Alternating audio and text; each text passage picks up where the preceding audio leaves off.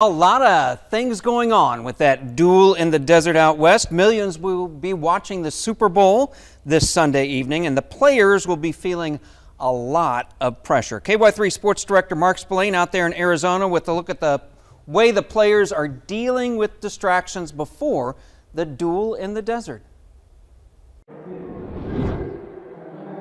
Yeah, Paul, from the moment the Chiefs stepped off the team plane, they were reminded that this is no ordinary game because the spectacle leading up to the game is almost as big as the game itself. And Patrick Mahomes wants to make sure that his team doesn't lose sight of the ultimate goal.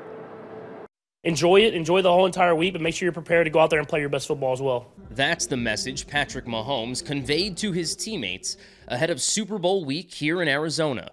And with all the distraction of pregame activities, you can see why the Chiefs captain is so vocal about maintaining focus. You get there the first time and you don't know what to expect, and you're kind of just you're kind of going through a whirlwind of media days, and and you have practice, but it's not the normal schedule you usually have, and um, meetings and trying to find time to watch film and everything like that. Southwest Missouri's own Grant Wistrom knows all about that balancing act. The Webb City native played in three Super Bowls 99 Rams, 2001 Rams, where we lost to the Patriots, mm-hmm. and the 05 Seahawks. Wistrom, who now lives in Springfield, says avoiding distractions at the Super Bowl is even tougher because of the extra week of hype before the big game. As a player, you know, for me, it was a business trip. I never really went to the parties or anything else when I was there. It was like, we're here to work.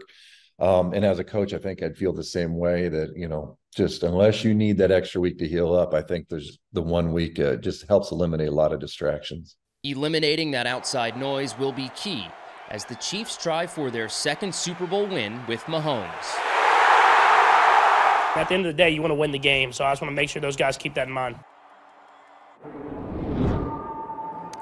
One of the many distractions here during the Super Bowl lead up is the NFL Honors, which is tonight, in which players and coaches are rewarded for their strong seasons and given awards. One of those awards will likely be Patrick Mahomes winning the NFL MVP for the second time in his career. We'll have a live report on that tonight at 9 and 10. Live from Phoenix, I'm Mark Spillane. Paul, I'll send it back to you. Well, before you send it back, I want to know if you've tested your arm out on that field behind you.